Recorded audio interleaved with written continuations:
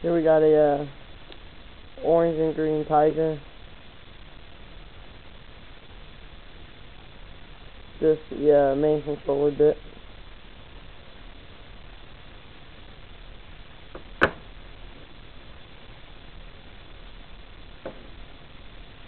The uh, neon green and neon orange, a lot brighter in person.